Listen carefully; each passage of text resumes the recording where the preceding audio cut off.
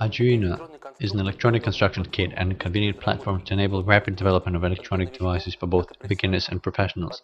This platform enjoys huge popularity all over the world due to easy and convenient programming language, as well as open architecture and source code. The device is programmed via USB port, no programming units are needed.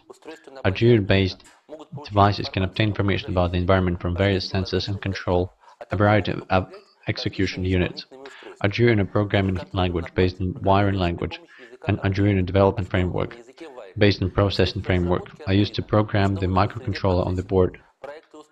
Arduino-based device designs can either work independently or interact with computer software such as flash processing, Max MSP.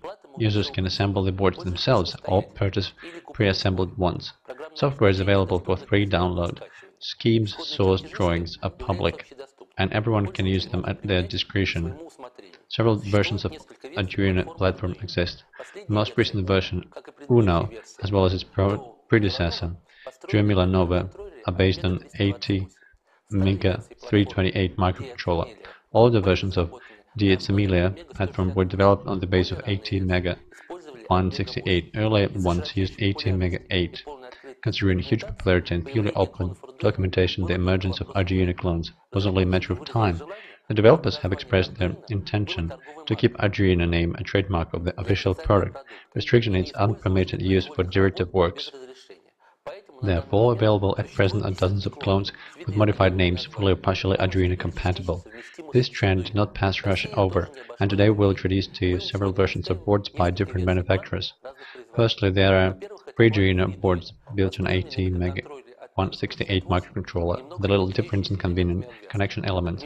For instance, Max serial board uses a COM port, and the difference between these boards and the Arduino 2009 is a board with automatic selection of power supply from either USB or an external source, and Arduino through-hole uses a jumper for power management.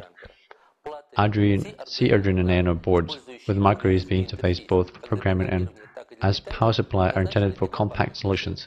C Arduino Nano V version 4 board is based on ATmega 168 microcontroller in its SMD version, whereas the Arduino Nano MEM Duo V4 uses ATmega 328 equipped with more memory. And finally, a ATmega 328 based Cosmo Blackstar board is the Russian counterpart of Arduino Duemilanove.